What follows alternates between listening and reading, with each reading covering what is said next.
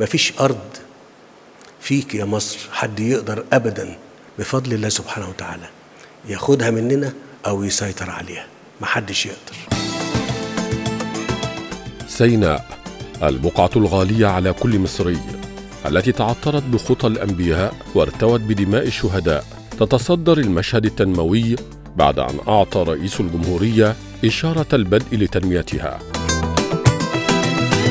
تشارك وزارة الداخلية بقوافل محملة بالسلع الغذائية وأخرى خدمية جهزتها لأهالي شمال سيناء في إطار مبادرة كلنا واحد برعاية رئيس الجمهورية.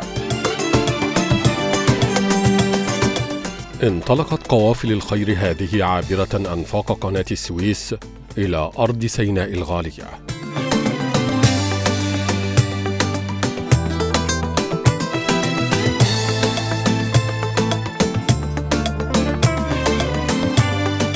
ومع وصول القافلة إلى مدينة العريش فقد أقامت وزارة الداخلية معرضا ضخما هو الأول من نوعه في هذه المنطقة على مساحة كبيرة من الأرض يضم كافة أنواع السلع الغذائية وغير الغذائية والأجهزة المنزلية والكهربائية والمفروشات بأسعار مخفضة وجودة عالية حرصا على استفادة أهالي شمال سيناء من تخفيضات مبادرة كلنا واحد ومن وفرة المعروض. ما أدى إلى إقبال كبير من المواطنين على الاستفادة من التخفيضات والمعروضات. الله الله المصريين لما يحبوها بجد بتلاقي عزيمة وتضحية أبطال وبتوفي الوعد. كلنا واحد دايما مع بعضنا كده وبنسند بعض طبعا اهالينا في سينا يحتاجوا مننا إن إحنا نقدم لهم كل الخدمات اللي يحتاجوها وخصوصا بمناسبة قرب حلول شهر رمضان. فاحنا جينا النهارده متواجدين معاهم. عملنا معرض كبير جدا لمبادره كلنا واحد. المعرض متواجد فيه أكتر من 500 طن مواد غذائية ما بين السكر والأرز والدقيق والزيوت وجميع النا... ويميش رمضان وجميع السلع اللي بيحتاجها المواطنين في خلال شهر رمضان. أنا حابة أشكر الرئيس عبد الفتاح السيسي على المبادرة الجميلة وأحب أشكر الجيش والشرطة إن هم ساعدونا ووقفوا جنبينا في آه، وقت الأزمة. ودلوقتي العريش بقت أحسن من الأول بكتير. مفيش خوف مفيش قلق. آه، دلوقتي كلنا من إيد واحدة جيش والشرطة. كلنا واحد موجودة في العريش ونشكرهم ونشكر الريس والأسعار كويسة وحلوة أحسن من بره بكتير. طبعا بنشكر سيادة الرئيس على مبادرة كلنا واحد في شمال سيناء إحنا في العريش تحديدا. آه، ربنا يبارك لك ويا رب تفضل كده الأسعار والدنيا حلوة. شكرا للسيد الرئيس شكرا لوزارة الداخلية شكرا لجميع العاملين. في هذا الصرع العظيم. منافذ أمان آه، خدمت آه، شمال سيناء تمام بأقل الأسعار ومنافذ جميلة وبأسعار كويسة جدا جدا جدا. تضم القافلة سيارات الخدمات الشرطية المتنوعة لإتاحة الفرصة لسكان أهالي شمال سيناء لاستخراج الأوراق الثبوتية وتراخيص السيارات. أنا اتفاجأت والله بيها النهارده وانبسطت جدا أول ما شفت العربية ديت إن هي دي بقى متنقلة في كل مكان ودي هتسهل على الناس كتير. لم تقتصر القوافل الخدمية والغذائية على العريش بل امتدت إلى عدد من مدن شمال سيناء. الشيخ زويد من المدن التي توجهت إليها القوافل الهدوء يعم هذه المدينة ويتحرك الجميع بحرية وأمان. جيت النهارده علشان خاطر أعمل بطاقة عائلية والتسهيلات حلوة والحمد لله والشرطة معانا وخدمتنا بالنسبة للتصوير السريع والبطاقه الفورية. الشيخ زويد جاية عشان أعمل بطاقة عائلية. شكرا لل- لوزارة الداخلية اللي جاية لينا من العريش علشان تساعدنا في الو- الورق. الحمد لله الوضع عندنا في الشيخ زويد والعريش الحمد لله 100% وبنقدر الحين ننزل نرخص عربيتنا براحتنا وبننزل ال- السجل المدني وبنعمل بطاقات وشهادات الميلاد. نشكر سيادة الرئيس. ألف ألف ألف شكرا. شكر واصل من شعب سينا للرئيس. من هنا للرئيس واصل. كلنا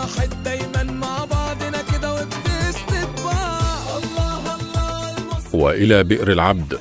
توجهت القوافل الغذائية والخدمية إلى الأهالي هناك لدعمهم وتوفير السلع والخدمات لهم. فالخدمات متوفرة اللي هو ال- الاستمارات موجودة شهاده ميلاد موجودة بطايق آه، موجود. إن الله في المبادرة الجديدة مع ال- العربيات المتنقلة هيبقى في خفة عمل. وزاره الداخلية وفر لنا خدمات آه، المرور الإلكترونية.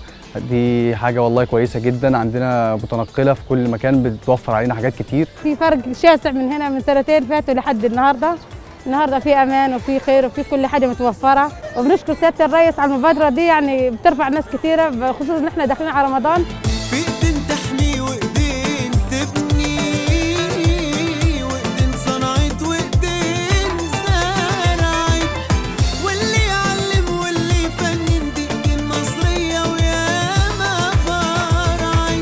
تضمنت القوافل زيارة قام بها الضباط لعدد من المدارس حيث تم توزيع هدايا على طلبتها أثناء سير العملية التعليمية.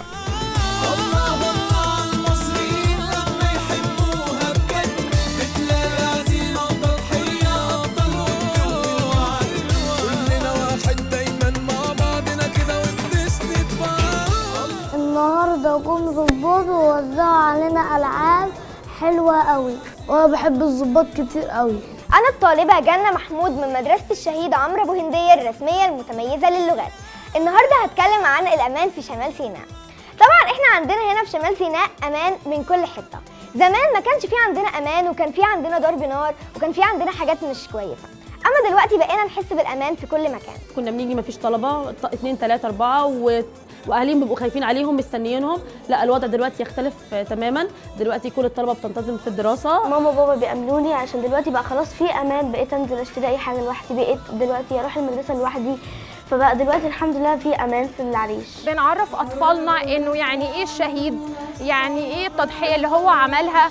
بنعرفهم بأسمائهم كمان علشان مدار حياتهم يبقوا ذاكرين آه، فضلهم على البلد وعلى الأمان اللي هم حاسين بيه دلوقتي كأطفال وليهم بعد كده في المستقبل بإذن الله. في تضحيات تمت من الدولة في تضحيات تمت من الشعب في تضحيات تمت من الجميع عشان كله بيحب الوطن. مصر كل زجاج وحارة فيها عاشر كل واحد عاش محمد وهي جرجس وهي سارة.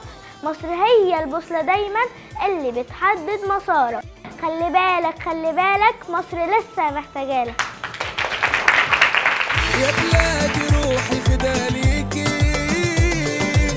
أقدم حضارات كانت فيك.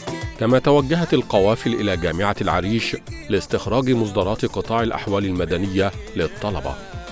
قادرين نعيش حياتنا بشكل طبيعي وأحسن كمان. يعني الأول ما كناش بنطلع ولا بنجيب أي حاجة ولا بنطلع ولا بنروح كافيهات ولا بتاع. دلوقتي الكافيهات فتحت الحاجات كلها فتحت. رجعنا أحسن من الأول. بنعيش يومنا طبيعي عادي جدا. بننزل الجامعة بنمارس حياتنا الطبيعية بشكل مستقر وحاسين بالأمان عن زمان كتير قوي. تعود الحياة إلى طبيعتها وسيرتها الأولى. الخدمات تقدم بصورة ميسرة بخاصة الخدمات الشرطية الجماهيرية حيث أثنى المواطنون على هذه الخدمات لبث الطمأنينة في نفوس الأهالي وبسط الأمن والنظام وتحقيق الاستقرار وتلبية متطلبات الأهالي في خدمة أمنية وشرطية تواكب طموحاتهم وتطلعاتهم.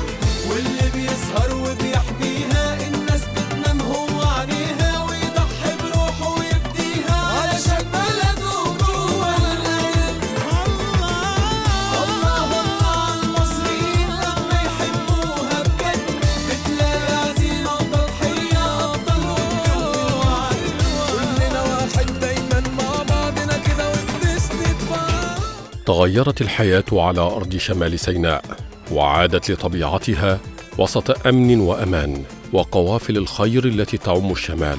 وهذا المعرض الكبير الذي يؤكد لأهالي شمال سيناء أن كلنا واحد.